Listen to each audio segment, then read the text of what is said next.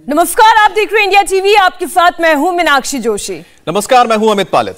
आज की सबसे बड़ी खबर आज पूरे देश की निगाहें संसद पर टिकी हुई हैं जहाँ लोकसभा में वित्त मंत्री निर्मला सीतारमण देश का बजट पेश करेंगी। और सुबह ग्यारह बजे निर्मला सीतारमण साल 2022-23 के लिए यूनियन बजट पेश करेंगी। फ़िलहाल निर्मला सीतारमण अपने दफ्तर वित्त मंत्रालय पहुँच चुकी हैं और अब किसी भी वक्त वित्त मंत्री राष्ट्रपति भवन के लिए रवाना हो सकती हैं। बजट संसद में पेश करने से पहले कैबिनेट की बैठक होती है। ये कैबिनेट की बैठक होगी, इसमें बजट को मंजूरी दी जाएगी। कैबिनेट की ये बैठक संसद भवन में होगी। कैबिनेट की बैठक में मंजूरी के बाद सुबह ग्यारह बजे लोकसभा में बजट पेश किया जाएगा। इस बार भी ऐतिहासिक तौर पर यह बजट पेपरलेस होगा। सांसदों को ऐप के ज़रिए बजट दस्तावेज़ उपलब्ध करवाए जाएँगे। ऐप के ज़रिए सांसदों के साथ ही आम नागरिक भी बजट को पढ़ सकेंगे। देश इस वक्त चुनावी रंग में रंगा हुआ है। यूपी, पंजाब, उत्तराखंड समेत पाँच राज्यों में विधानसभा चुनाव है और इसी माहौल में वित्त मंत्री निर्मला सीतारमण आज बजट पेश करेंगी।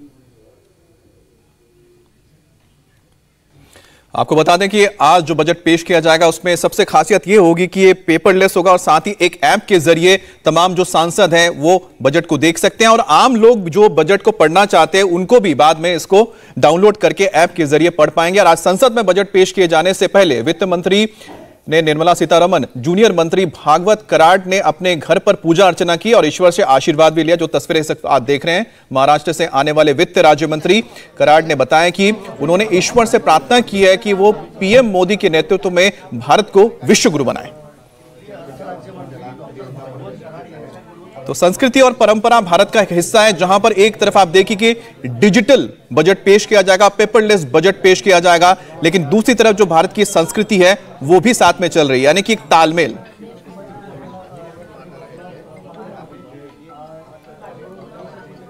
बजट तो बजट तो सादर करने वाले फाइनेंस मिनिस्टर मैं उनके साथ हूँ। और आपने पूजा भी की बजट हाँ पूजा तो इसीलिए की है कि भारत ये प्रधानमंत्री मोदी साहब के नेतृत्व में विश्व गुरु बने भारत समृद्ध बने इसलिए मैंने पूजा की है। प्रधानमंत्री माननीय मोदी जी ने अपेक्षा की है कि इस बजट में हर एक दल सत्ता दल हो या विरोधी पक्ष के सब लोगों ने साथ में मिलकर बजट को सुनना चाहिए सहकार्य करना चाहिए। देखिए देश के यशस्वी प्रधानमंत्री जी के नेतृत्व में दुनिया के सर्वश्रेष्ठ ताकतवर महिलाओं में से एक आदरणीय श्रीमती निर्मला सीतारमण जी के नेतृत्व में देश के सभी सेक्टर के लोगों को भावनाओं को ध्यान में रखते हुए एक समावेशी, सर्वसमावेशी बजट आने वाला है, जिससे निश्चित तौर से देश के लोगों का कल्याण होगा। और देश भी आगे बढ़ेगा। किसानों को लेकर के किसान काफ़ी ज़्यादा है। उत्तर प्रदेश समाज के सभी वर्गों को ध्यान में रखा गया है। निश्चित तौर से थोड़ा इंतज़ार करिए बजट आएगा सब कुछ सामने आएगा। कोरोना काल रहा सर दो साल और उसके बाद इस बजट से लोगों को है इन सभी सभी सेक्टरों को सभी चीज़ सभी चुनौतियों को ध्यान में रख करके ये बजट आने वाला है। थोड़ा धैर्य रखें आप लोग एक कुछ घंटों की बात है। तो ये अनुमान लगाया जा रहा है कि इस बजट में मोदी सरकार छोटे किसानों को बड़ा तोहफा दे सकती है। किसानों के साथ ही नौकरी पेशा लोगों के लिए भी कोई अच्छी खबर आ सकती है। इलेक्ट्रॉनिक सामानों के इंपोर्ट में कस्टम ड्यूटी कम करने के साथ ही कारोबारियों के लिए भी राहत की खबर आ सकती है। कुल मिलाकर इस बजट के ज़रिए मोदी सरकार 130 करोड़ लोगों के दिलों तक पहुँचने की कोशिश करेगी। और केंद्र में मोदी सरकार आने के बाद एक अंतरिम बजट समेत यह दसवां मौका है जब केंद्रीय बजट आ रहा है। मौजूदा वित्त मंत्री निर्मला सीतारमन के लिए यह चौथा मौका है जब वो बजट पेश करेंगे और पिछले सालों के मुकाबले इस बार चुनौती सबसे ज़्यादा है। और चुनावी मौसम में जहाँ रोज़गार के फ्रंट पर सरकार को जूझना है, वहीं महँगाई भी आम आदमी की परेशानी बढ़ा रहा है। कारोबारियों से लेकर छोटे व्यापारी तक अलग अलग उम्मीद लगाए बैठे हैं।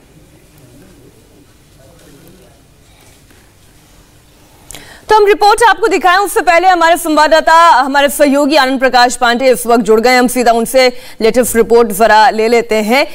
वित्त मंत्री निर्मला सीतारमण अपने दफ्तर तक पहुँच गई है।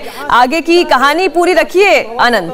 निकल जाएँगी। कभी भी किसी भी वक्त वो जी देखिए, फ़िलहाल वित्त मंत्रालय में वित्त मंत्री निर्मला सीतारमण, अपने जूनियर मंत्री पंकज चौधरी और भागवत कराट के साथ और टीम जो पूरी फाइनेंस मिनिस्ट्री की जो टीम है, उनके साथ फाइनल टचेस को दे रही थी। बजट पूरा तैयार हो चुका है। अब वित्त मंत्री किसी भी क्षण वित्त मंत्रालय से बजट की कॉपी लेकर बाहर निकलेंगी। पिछली बार उन्होंने टैब से अपना बजट भाषण दिया था और इस बार भी जो बजट होगा, वो पेपरलेस होगा और यहाँ से सीधा वो बजट की कॉपी लेकर राष्ट्रपति भवन जाएँगी, जहाँ पर फ़ोटो ऑप होगा। और राष्ट्रपति भवन से सीधा वो वित्त मंत्रालय वो संसद भवन पहुंचेगी, जहाँ संसद भवन गेट नंबर एक पर भी एक फ़ोटो ऑप होगा उसके बाद सीधा सवा दस बजे, दस बज के पंद्रह मिनट पे केंद्रीय कैबिनेट की बैठक होगी, जहाँ प्रधानमंत्री नरेंद्र मोदी की अगुवाई में इस बजट को मंजूरी दी जाएगी, और फिर सीधा ग्यारह बजे निर्मला सीतारमन लोकसभा में अपना बजट भाषण पेश करेंगे। और आप ये देखिए, जो वित्त मंत्रालय के जो अधिकारी हैं, वो बाहर आ गए निर्मला सीतारमन आ गई हैं, उनके हाथ में लाल रंग के कपड़े में लिपटा हुआ देखिए कि ये वित्त मंत्री के हाथ में जो बजट जिससे वो पड़ेंगी, वो उनके हाथ में मौजूद है और उनके बाएँ और दाएँ जो जूनियर वित्त मंत्री हैं, एक तरफ़ भागवत काराड है तो दूसरी तरफ़ पंकज चौधरी है और उनके साथ वित्त मंत्री और पूरी फाइनेंस मिनिस्ट्री की जो टीम है, जिसने इस बजट को तैयार किया, वो पूरी टीम मौजूद है। और यहाँ से कोशिश की जा रही है कि निर्मला सीतारमण कुछ हिंट दें बजट को लेकर, लेकिन अभी फ़ोटो ऑप चल रहा है और यहाँ से सीधा वो राष्ट्रपति भवन जाएगी, जहाँ पर एक फ़ोटो ऑप होगा। आप देख सकते हैं कि ये निर्मला सीतारमण के साथ उनकी पूरी जो टीम है वित्त मंत्रालय की, उनके जूनियर मंत्री हैं, और इस बजट से लोगों को बहुत उम्मीदें हैं क्योंकि ये कहा जा रहा है कि ये बजट जो है गाँव गरीब किसान का तो है ही है, साथ ही साथ रोज़गार बढ़ाने वाला होगा रोज़गार रोज़गार परक का होगा, और साथ ही साथ जिस तरह से कोरोना की मार पड़ी है, उसके बाद कहा जा रहा है कि जो इकोनॉमी जो है, वो रिवाइवल मोड में और काफ़ी हद तक रिवाइव कर भी चुकी है तो इस बजट से लेकर लोगों को खासी उम्मीदें हैं, और जैसा कि पाँच राज्यों में चुनाव भी है तो ये भी उससे भी जोड़ कर देखा जा रहा है कि इन पाँच राज्यों के लिए भी क्या इस पिटारे से बाहर निकलेगा। लेकिन और लेकिन आनंद देखिए सबसे बड़ी समस्या इस वक्त देश की जनता के सामने यह है कि महँगाई के मार से वो जूझ रही है। फिर वो चाहे खाद्य सामग्री ही क्यों ना हो वो इलेक्ट्रॉनिक सामान क्यों ना हो वो पेट्रोलियम पदार्थ क्यों ना हो ये इस महँगाई से जूझ रही जनता के लिए कितनी राहत इस बजट में होगी? अभी तक की क्या संभावनाएँ और उम्मीद? जी बिल्कुल। जनता को जो नज़र है इस बजट से महँगाई को लेकर हालाँकि काफ़ी चीज़ें जो है वो जीएसटी के दायरे में आने से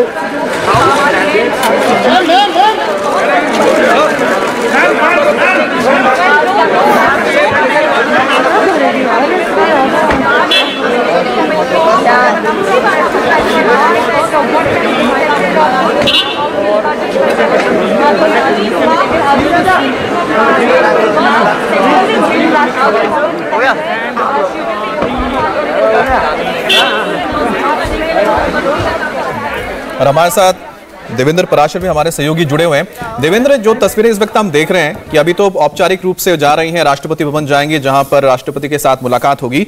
लेकिन एक जो बहुत इंटरेस्टिंग चीज़ इसमें लग रही है, जो हम पिछले दो साल से देख रहे हैं कि पेपरलेस जो बजट जा रहा है तो उसमें टैब को देख रहे हैं डिजिटल ट्रांसफॉर्मेशन देख रहे हैं। लेकिन इस बार तो ऐप का भी एक खास इंतज़ाम किया गया, जिसके ज़रिए आम लोग भी इसको पढ़ सकते हैं, देख सकते हैं बजट को। जी हाँ बिल्कुल अमित, और ये सिर्फ़ बजट के लिए नहीं, बल्कि जिस पूरी संसद की कार्रवाई है लोकसभा की खासतौर पर लोकसभा अध्यक्ष ओम बिरला की लगातार ये कोशिश थी कि संसद की कार्रवाई को पेपरलेस किया जाए, और उसी के तहत एक ऐप बनाया गया। उस ऐप में सिर्फ़ बजट ही नहीं, बल्कि संसद से संबंधित जो भी जानकारी आपको चाहिए उसकी कार्रवाई से संबंधित, उन सारी चीज़ों को आप उस ऐप के मार्फत डाउनलोड कीजिए और आपको पता चलेगा कि संसद में क्या क्या होना है कौन सी कमेटी की बैठक होनी है, या अगर कार्रवाई चल रही है तो क्या डिस्कशन होना है, क्या इन चीज़ एजेंडे में है, इन सारी चीज़ों को उस ऐप के मार्फत लोगों को बताने के लिए उपलब्ध किया गया है। बजट भी निश्चित तौर पर उस ऐप के मार्फत कोई भी उस ऐप को डाउनलोड करे, उस बजट को पढ़ सकता है। अच्छा देवेंद्र, एक चीज़ मैं और जानना चाहता हूँ कि क्योंकि मोदी गवर्नमेंट को हमने देखा है कि वो बहुत ज़्यादा इलेक्शन को लेके बाउंड नहीं होती है। उनका एक फोकस रहता है कि ओवरऑल एक साल में हम क्या कर रहे हैं इकोनॉमी को लेके। तो आपको क्या लगता है, इतने दिनों से आप देख रहे हैं कि सरकार ज़्यादा इलेक्शन को लेके फोकस करेगी या फिर जो आधारभूत ढांचे को लगातार बदलने की कोशिश हो रही है, उस पर फोकस रहेगा? निश्चित तौर पर बजट में इलेक्शन जहाँ जिन राज्यों में होना है, उसका कोई बहुत ज़्यादा मतलब नहीं रहेगा। बजट देश का होता है और चुनाव की अगर आप बात करें, और एक बहुत इंटरेस्टिंग डाटा मैं आपको बताऊँ कि अगर पिछले पंद्रह साल की बात कर लें तो बजट के बाद लगभग 40 से 42 जगह पर चुनाव हुए थे।